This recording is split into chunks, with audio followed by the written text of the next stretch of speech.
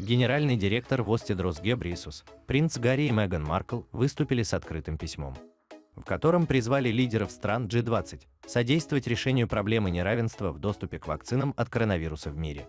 В своем письме принц Гарри и Меган Маркл утверждают, что обещания пожертвовать вакциной из этих стран не доходят до самых уязвимых слоев населения планеты.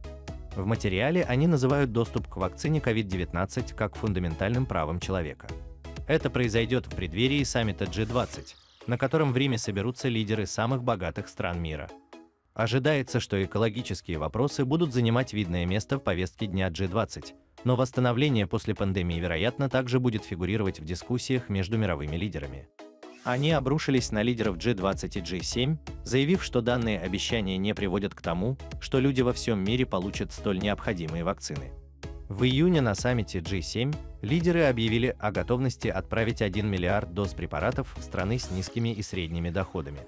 Но при этом сегодня из почти 7 миллиардов примененных в мире доз только 3% приходятся на государства с низкими доходами. Где остальные? Хм, это случайно не тот саммит, который участвовали члены КС. Почему они не пишут открытое письмо президенту Джо Байдену? Все мы из разных стран происхождения и жизненного опыта, но у нас общая цель – бороться с глобальным неравенством. Герцоги Сассекские продолжают требовать, что каждый должен был бы делать все, что в их силах, чтобы доставить дозы вакцины как можно большему числу людей по всему миру в правильном порядке. Обещание не перевод ядца в вакцины, которые доходят до людей, которые в них нуждаются, констатирует Геобрисус, принц Гарри и Меган Маркл, подчеркивая, что лидеры G20 имеют право ускорить раздачу давно обещанных пожертвований и взять на себя обязательство сломать запрет который страны-производители и фармацевтические компании в настоящее время имеют в отношении доступа к вакцинам и способов их производства. В письме также утверждалось, что многих препятствий в распространении вакцин против ковид можно избежать включая неспособность или нежелание стран-производителей вакцин и фармацевтических фирм делиться своими вакцинами. Открытый документ завершается следующим. Есть много кризисов, с которыми вы, управляющие нашей планеты, должны справиться в эти выходные. Чрезвычайная климатическая ситуация, состояние нашей глобальной экономики, подтверждение приверженности многосторонности. Тем не менее, во многом реализация этих приоритетов зависит от того, сможем ли мы победить эту пандемию. Единственное решение сотрудничества исторической пропорции. От этого буквально зависит жизни. Мадам все-таки рвется в политику. Или просто предположение – Члены королевской семьи продемонстрировали свою поддержку королеве, по сообщениям по очереди навещая ее в Виндзорском замке и поддерживая ее компанию по телефону, когда она выздоравливает. Согласно королевскому инсайдеру, принц Уильям и Кейт прислали букет цветов и сладкие открытки от своих детей, в то время как принц Гарри остался чувствовать себя беспомощным в Монтесита. Источник, близкий к королевской семье, сообщил изданию знаменитости US Weekly – Королевская семья впала в состояние паники, когда услышала, что королеву госпитализировали, и по очереди звонят ей каждый день и навещают ее в Виндзорском замке. Они добавили, что принц Уильям и Кейт прислали огромный букет цветов, в то время как ее правнуки прислали добрые пожелания и открытки. Говоря о принце Гарри, источник сообщил, что принц впал в панический режим, услышав о своей бабушке. Понятно, что Гарри следит за новостями из своего дома в Лос-Анджелесе, сообщил US Weekly неподтвержденный источник. Он чувствовал себя беспомощным, находясь в Монтесита. На фоне этих событий, по словам экспертов, принц Гарри и Меган Маркл могут на время забыть о своих разногласиях с королевской семьей и вернуться в Британию на зимние праздники. По данным источника КС и сотрудники Букингемского дворца прорабатывает план действий на случай приезда герцогов Сассекских необходимо оградить королеву от всяких волнений, связанных с этим возможным визитом. Только вот многие сомневаются, что Меган Маркл с детьми приедет в ПБ, сделают ставку в основном на Гарри, а Меган присоединится виртуально. Принц Гарри и Меган Марк проведут Рождество в Великобритании из-за болезни королевы. На прошлой неделе королева Великобритании Елизавета II вернулась в Виндзорский замок после того, как провела день и ночь в больнице. Врачи доставили 95-летнюю Елизавету II в больницу 20 октября. Она провела там ночь и была выписана на следующий день. Во дворце уточнили, что в больнице королева должна была отдохнуть и пройти несколько предварительных обследований. По словам представителя дворцы, сейчас она пребывает в хорошем настроении. Известно, что королева была в частной больнице короля Эдуарда VII в Лондоне.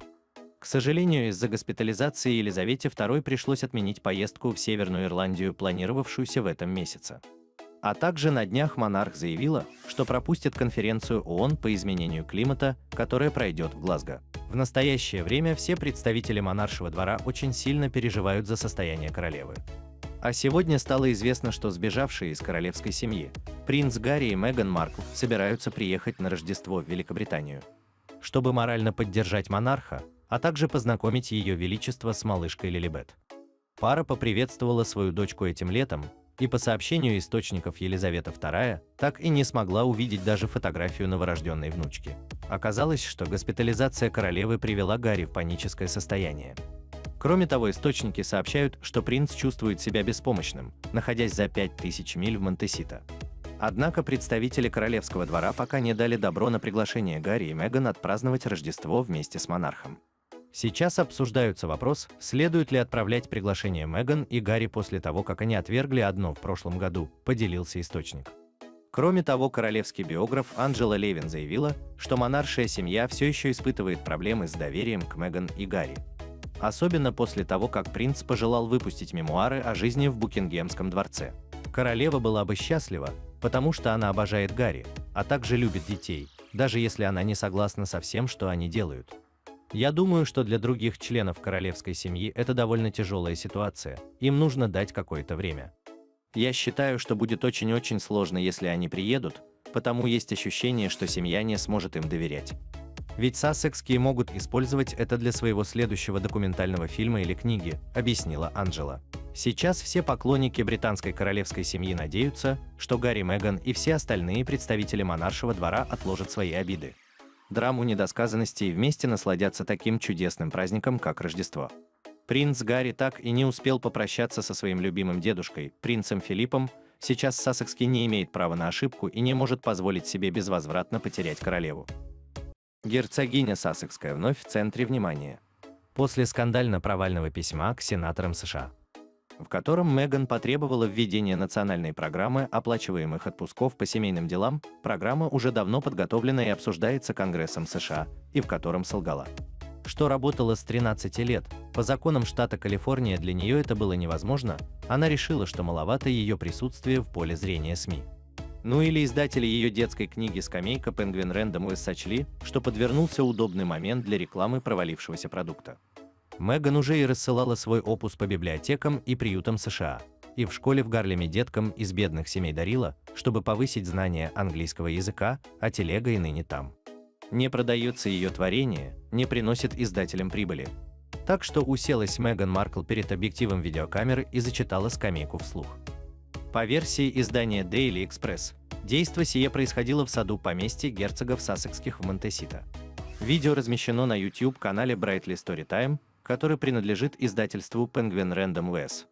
В простенькой голубой блузочке и синих джинсах, с минимумом макияжа, но максимумом фильтров герцогиня. Стянувшая волосы в хвостик и не обвесившаяся на сей раз бриллиантами. Надеюсь, ей наконец-то объяснили, что бриллианты приличные женщины носят только после 18.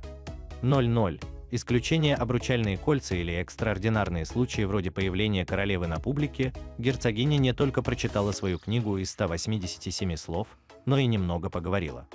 В частности, сообщила, что на создание книги ее вдохновили отношения ее мужа Гарри с сыном Арчи. Она написала это стихотворение для своего супруга, чтобы отметить его первый день отца. Через месяц после рождения Арчи, а потом решила, что стих должен стать достоянием широкой общественности и заключила договор с издательством, чтобы ее творчество стало книгой. В видео Меган объясняет, что делает скамейку особенной, Сегодня я собираюсь прочитать вам мою книгу под названием «Скамейка» с иллюстрациями Кристиана Робинсона. Я попросила его сделать для меня что-то необычное и использовать акварель, техника, в которой он практически не работает, и он воспользовался ею, чтобы моя книга стала особенной. Я написала это как стихотворение для моего мужа и нашего сына Арчи, а затем превратила его в книгу, чтобы вы тоже могли наслаждаться ею. В книге действительно много иллюстраций, показывающих взаимоотношения отца и сына, в том числе и картинка, где папа с отпрыском репетирует балетные па, облачившись в пачки. Закончив чтение, Меган закрыла книгу и сказала, «Надеюсь, вам понравилась скамейка.